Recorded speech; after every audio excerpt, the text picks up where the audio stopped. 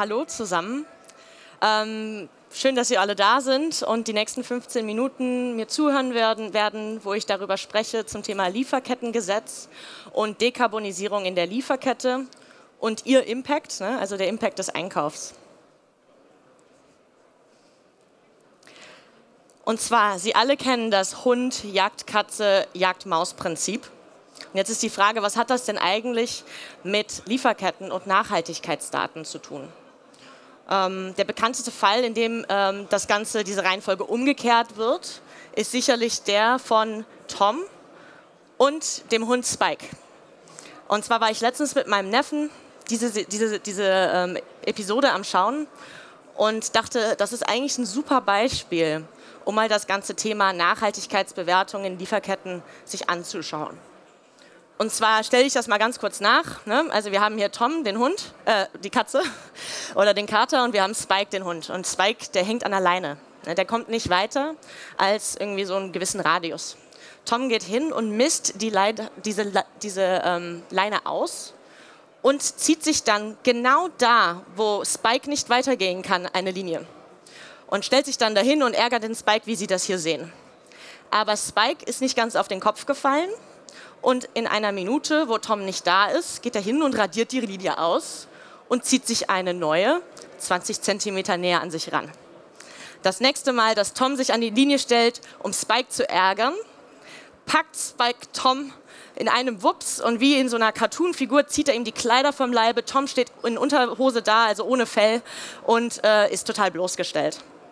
Und was ich hiermit einleiten will, ist das Thema was muss ich beachten, um nicht nur zu reporten, dass ich eine Linie gezogen habe, sondern um sicherzugehen, dass diese Linie mein Risiko, nicht wie Tom so bloß dazustehen, auch wirklich ausreichend absichert.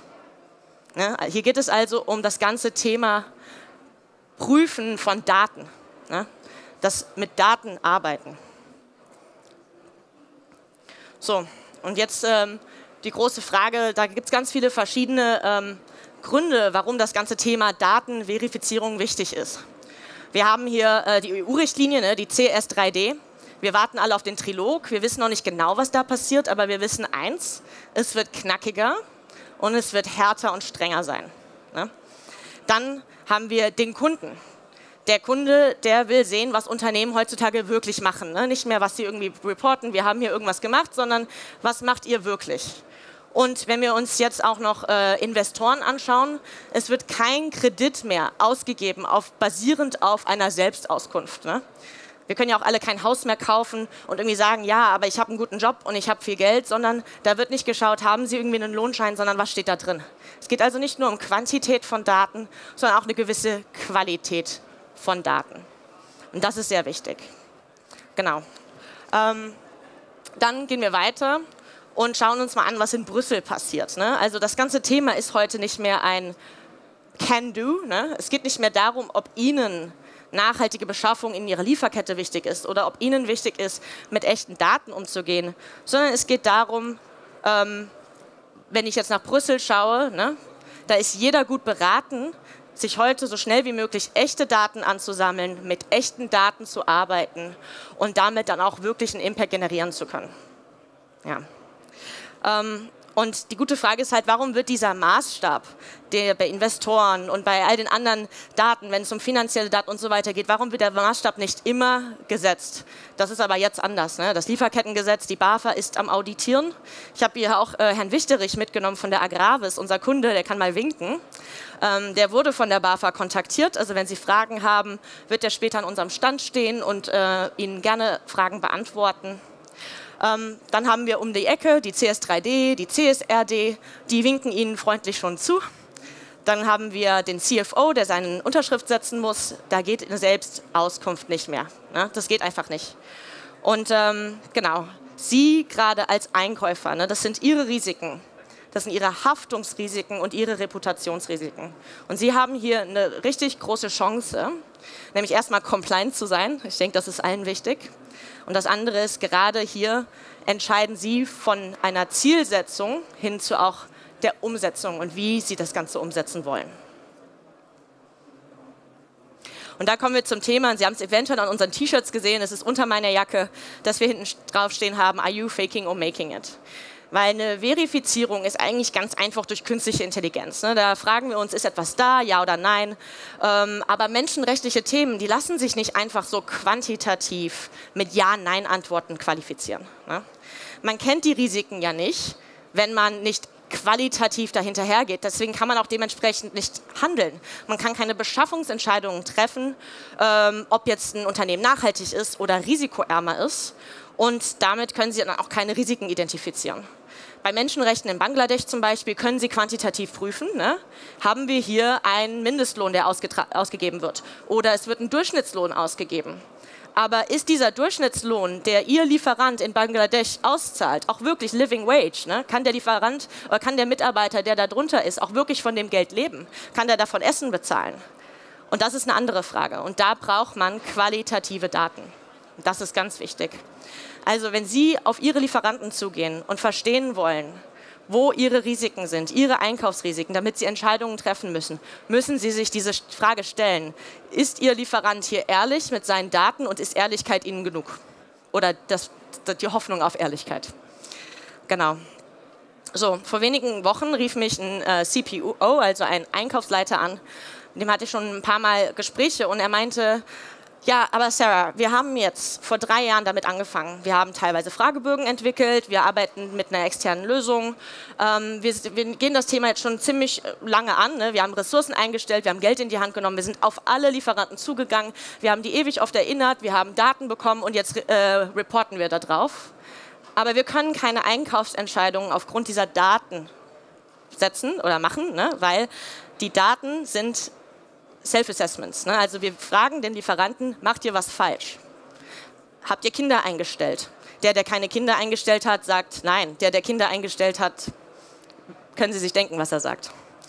Und ähm, das ist einfach ein sehr wichtiges, ja, wichtig, wichtiger Punkt, denn er merkt, wir haben das ganze Geld und die ganze Zeit hier reingesteckt. Wir sind jetzt fast in so einem Song-Cost-Phänomen, wo man nicht mehr weiß, was man eigentlich jetzt machen soll. Aber das alles aufgrund von leeren Daten. Und mit diesen Daten kann man eigentlich nichts machen, weil man weiß, man hat ja nicht wirklich geprüft. Ne? Man hat Spike die Linie setzen lassen. Und ähm, Vertrauen ist gut, aber Kontrolle ist besser. Wenn wir uns nämlich das Jahr 22 anschauen, letztes Jahr, da erhielten 89 Prozent von den Unternehmen, die von uns bewertet wurden, hatten mindestens ein ungültiges Zertifikat oder Dokument. Das könnten abgelaufene Dokumente sein. Wenn Sie die Ressourcen haben, können Sie Ihre Einkäufer fragen, um eben alle Dokumente da zu prüfen. Prima. Aber jetzt geht es um gefälschte und plagiierte Dokumente. Sie können bei manchen Ihre Einkäufer fragen, zum TÜV Rheinland zu gehen und jedes einzelne Zertifikat einzugeben. Wenn Sie die Ressourcen haben, machen Sie das. Aber was machen Sie, wenn das Ihr Dokument ist? Jetzt haben Sie 100 Hochrisikolieferanten in China. Und jedes dieser Lieferanten hat Ihnen 20 solcher Dokumente geschickt. Und wer in diesem Raum kann mir sagen, was mit diesem Dokument nicht richtig ist? Habe ich mir fast gedacht. Ich habe sehr gehofft. Aber wir sehen hier, ja, es ist ein Sitzungsprotokoll eines Ausschusses für Umwelt, Gesundheit und Sicherheit. Das ist ein echtes Dokument. Ich habe einen Analysten bei EcoVadis gefunden, der in China arbeitet und der hat mir dieses Dokument gegeben. Keine Sorge, wir haben alles verheimlicht, also wir wissen nicht, wer es ist. Wenn das Ihr Lieferant wäre, würden wir Sie anrufen und Ihnen Bescheid geben, dass Sie da mal erstmal nichts mehr glauben dürfen. Das ist nicht nur ein gefälschtes Dokument, sondern das ist ein eingekauftes gefälschtes Dokument. Da hat jemand Geld in die Hand genommen, um ein gefälschtes Dokument zu erstellen, das ein anderer Lieferant uns auch schon mal geschickt hat. Ja? Und wir wissen das, weil wir über 14 Millionen Datenpunkte haben. Wir vergleichen jedes Dokument mit jedem Dokument, das wir jemals bekommen haben. Und wir haben alle studiert, wir wissen, wie Plagiieren funktioniert. Es sind nie mehr als fünf Wörter in der gleichen Reihenfolge. Hier ist alles gleich, außer wer waren die Teilnehmer in dieser Covid-Sitzung, wo entschieden wurde, wie wir sicher umgehen mit Covid und welches Unternehmen es ist. Alles andere ist genau gleich. Ich würde also sagen, wenn wir uns jetzt die Frage stellen, lieber Lieferant, are you faking or making it? Dann sind wir hier ganz klar im Faking. So, die Key Message, wenn es jetzt also um diesen Teil geht, ja, ohne eine objektive Bewertung und Analyse gibt es keinen Inhalt. Ja? Sie können ein validiertes, ein valides Risikomanagement funktioniert nur mit objektiven Daten. Und wenn Sie da äh, die Datenqualität auch wirklich umfassend ist, quantitativ und qualitativ, und das Risikomanagement, wenn das nicht greift, dann liegt das Risiko bei Ihnen in Ihrem Einkauf. Gehen wir mal auf das Thema Dekarbonisierung, ne? Treibhausgase wenn wir jetzt hier verstehen wollen, was Ihr Lieferant macht, ist er das am Faken oder am Maken? Ne? Da würde man ja denken, theoretisch ist das einfacher. Ne? Wir wissen alle, dass es nicht einfach ist, aber wir haben ja hier sehr quantitative Daten. Ne? Eine Berichterstattung zum Energieverbrauch, erneuerbare Energie, Wasserverbrauch, andere Sachen. Es ist greifbarer als Menschenrechte. Aber ähm, das bedeutet nicht, dass es einfach ist. Ähm, und übrigens, Sie als Einkäufer, Sie haben ja mehrere Ziele. Wenn es um Nachhaltigkeit geht, wollen Sie auf der einen Seite äh, eine nachhaltige Welt schaffen in Bezug auf Arbeits- und Menschenrechtsrisiken. Aber der, andere riesengroße Faktor ist Klimaveränderung und da geht es um Carbon. Und wie wir wissen, und Sie wissen das sicherlich, die meisten von Ihnen im Durchschnitt sind 80 Prozent ihrer Treibhausgasemissionen in ihrer Lieferkette. Das ist also da, wo Sie den Impact machen können. Und da haben Sie wieder extremen Einfluss, um erstmal compliant zu sein, aber beim Compliant sein auch was davon zu gewinnen, nämlich, dass sie wirklich mit diesen Risiken umgehen und dass sie langfristig ihre Beschaffungsorganisation sicherer, stärker und weniger riskant machen und auch äh, eine Reduktions, äh, Reduktion vorantreiben. Und jetzt will ich Ihnen da mal ein Beispiel zeigen. Wir haben hier ein Unternehmen und äh, wir prüfen verschiedene Sachen. Ne? Also das Erste, was wir prüfen, ist, haben Sie ein Reduktionsziel für Treibhausgase? Ne? Ja, dieser Lieferant hat das. Der hat auch ein Intensitätsreduktionsziel und hat sich verpflichtet zur Science-Based Targets Initiative. Das heißt, der ist auf jeden Fall in der Zielformulierung ganz gut. Ne? Der hat geschrieben, ich werde bis 2040 carbon neutral sein oder das und das und das erreichen. Bei EcoVadis hat noch nie jemand ein super Ergebnis bekommen, weil er sich das Ziel gesetzt hat, irgendwo sich zu bessern und carbon-neutral zu werden. Denn wir prüfen auch andere Sachen. Aktionsplan. Gibt es einen zeitgebundenen Aktionsplan, der auch diese Reduzierung der Treibhausgasemissionen voranbringt? Ja? Gibt es ein eigenes Budget, um das überhaupt, dass diesem, diesem Ziel auch zugewiesen ist? Gibt es hier ein spezielles Management-Team? Was ist mit den Maßnahmen für Scope 1 und Scope 2 oder für Scope 3? Wurden da irgendwelche Maßnahmen gesetzt? Und dieser Lieferant, der konnte dort nur Nein sagen. Haben wir nicht, aber wir haben Ziele. Wir haben also hier wieder das Thema Faking. Wenn Sie jetzt das Geld in die Hand genommen hätten und geprüft hätten, ohne zu prüfen, also nur zu fragen, haben Sie vor, besser zu werden? Oder auch wie eben die Fragen, die ich gezeigt habe zum Thema ähm, Nachhaltigkeit in Menschenrechtsrisiken. Dann hätte der bei Ihnen einen klaren grünen Haken gehabt. Ne? Sie hätten jetzt wahrscheinlich gesagt, bei diesem Lieferanten haben wir weniger Risiko als bei dem anderen, weil der hat alles richtig gemacht und der andere, der hat ein paar Defizite gezeigt. Und das ist halt das große Problem, weil jemand, der wirklich sehr, sehr wenig in der Nachhaltigkeit tut, ist wahrscheinlich mehr motiviert, um nicht ehrlich zu sein.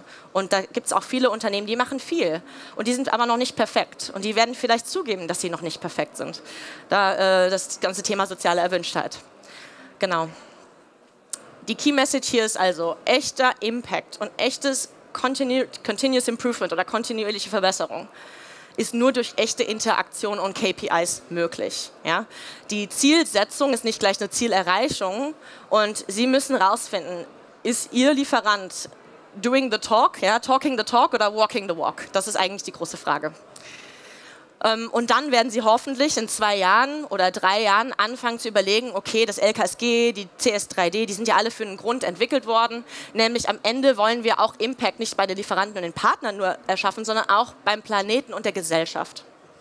Und da kann ich Ihnen jetzt mal ein paar äh, Kennzahlen nennen. Ne? Also EcoVadis, wir haben über 1000 Kunden, die über 47.000 Einkäufer haben, die EcoVadis nutzen. Ähm, wir haben über 1,3 Millionen gescreente Unternehmen, über 14 Millionen Datenpunkte. Ne? Das sind nicht Selbstauskünfte, das sind echte Daten. Unsere Lieferanten haben sich im Schnitt um 8,3 Punkte verbessert.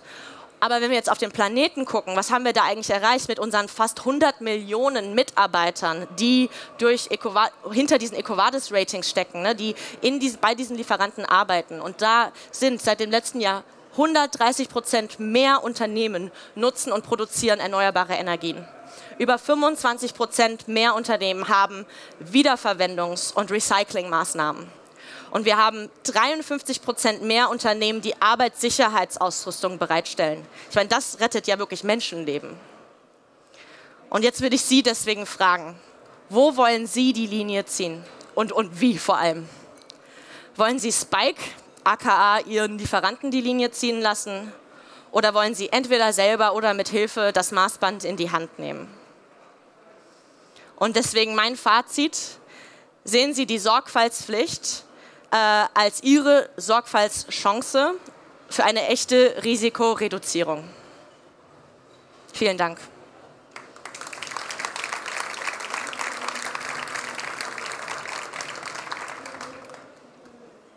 Vielen Dank, liebe Sarah. Und es kam eine sehr spannende Frage rein, die knüpft okay. direkt hier an.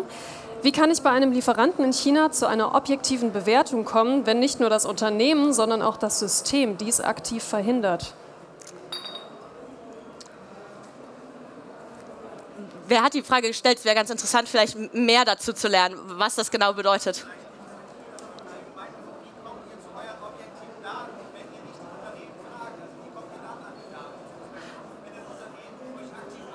Klar. Okay, danke schön. Also nochmal, wie kommt ihr zu euren objektiven Daten sozusagen? Also du hast gerade erklärt, es geht nicht über Selbstauskünfte, aber wie kommt ihr denn an die Daten? Ja, genau. Und da jetzt in, in dem Bezug noch das Extrembeispiel China, ohne da jetzt irgendwem irgendwas zu unterstellen, da ist vielleicht ein noch größerer Interesse, nicht die Wahrheit zu sagen. Voll. Äh, wie geht ihr dann damit um ja. oder wie kommt ihr da zu einer objektiven Bewertung? Absolut. Also wir haben ein komplettes Team in China von Analysten. Das sind Experten in der Nachhaltigkeit. Ne? Die haben einen Bachelor, einen Masterabschluss, oft noch einen PhD. Das sind, äh, die haben oft auch noch einen Hintergrund in Jura, aber ganz, ganz oft der Fokus auf Human Rights, ähm, wenn, wenn die sich diese Human Rights Themen anschauen. Wir wollen für alles Beweise sehen. Wir fragen den Lieferanten nicht, arbeiten Sie mit Kindern ja oder nein? Und wenn Sie ja sagen, haben Sie nicht bestanden. Wenn Sie nein sagen, haben Sie bestanden. Äh, wir kennen, wir wissen alle, das ist so das, was auf dem Markt äh, vor, äh, oft, oft existiert ähm, sondern wir wollen wirkliche Beweise sehen. Ne? Das, sind, das können Zertifikate sein, das können On-Site-Audits sein, das könnte aber auch sein, den Prozess, wo zum Beispiel jeder einzelne äh, Mitarbeiter per Personalausweis geprüft wird, dass da ein kompletter Prozess dahinter steht, um sicher zu gehen. Und das wird dann auch bei uns mit kommuniziert. Dann prüfen wir über 360, äh, 360 Degree Watch, wir prüfen über 180.000 Datenquellen. Ja? Äh, wir haben eine RDC Compliance Partnerschaft, wo wir über 400 Sanktionslisten prüfen. Wir äh, gehen in die Gewerkschaften, wir gehen in die Fach Fachpresse in China und die Gewerkschaften auch in China. Ne? Also wir haben auch dort nochmal ganz, ganz viele Datenquellen, wo, wenn wir irgendwelche Ris Risiken oder irgendwelche Probleme finden, wir das flaggen und wir dann sagen, hier müsst ihr nachbessern. Und nachbessern könnte sein, dass man jetzt hier Schulungen durchführt, damit sowas in der Zukunft nicht mehr passiert. Natürlich das Risiko sofort, ne, also sofort damit aufhört, was da irgendwo in der Fabrik passiert ist. Ähm, es geht ja hier nicht darum, sofort diesen Lieferanten zu sanktionieren und nicht mehr mit dem zu arbeiten, sondern das Lieferkettengesetz sagt, arbeiten Sie daran, diesen Lieferanten Lieferanten zu bessern, weil dann nur haben sie Impact. Sonst haben sie ja nur einen Lieferanten, der dann äh, Subunternehmer äh, wird von einem anderen Lieferanten, mit dem sie arbeiten, bis der entdeckt wird. Und das wollen wir ja nicht. Frage beantwortet? Wunderbar. Genau, äh, eine kurze Frage noch und dann müssten wir in die Kaffeepause. Alles klar, danke schön. Äh, wie wird denn, wenn wir jetzt mal bei dem Thema Kinderarbeit bleiben, ähm, gibt es ja durchaus ähm, Branchen, ich nenne jetzt mal die Landwirtschaft, wo es äh, durchaus gang und gäbe ist, dass ähm, Kinder auf dem Hof der Eltern äh, nachmittags mithelfen. Wenn wir jetzt einen Milcherzeuger zum Beispiel äh, haben, der also ein Lieferant ist, weil Milchlieferant, ähm, wenn der die Frage beantwortet und ehrlicherweise Ja sagt, welche Auswirkungen hat das denn? Weil es ist ja gängige Praxis, dass die Kinder dort durchaus mithelfen.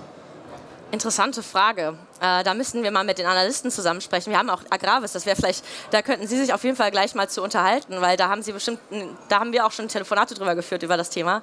Ähm, können wir nachher auf jeden Fall mal drüber sprechen, weil das ist auf jeden Fall ein interessanter Fall. Und vielleicht frage ich mal eine Analystin, wie wir damit umgehen. Wunderbar. Dann würde ich sagen, alle weiteren Fragen, die euch noch kommen, könnt ihr sicher auch abseits der Bühne mit Sarah klären. Unser Stand ist da hinten, ganz in der Ecke, da lang. Also kurz vor dem VIP-Raum, da stehen wir lächelnd. Und wir haben Herrn Wichterich von der Agravis noch am Start, wie, jetzt, wie erwähnt, äh, für BAFA-Fragen oder Fragen, wenn Sie es vom Kunden selber hören wollen, statt von mir. Ähm, genau, da freuen wir uns drauf. Wunderbar. Dann würde ich sagen, einen großen Applaus für Sarah Alford nochmal. Vielen lieben Dank für deine Einblicke.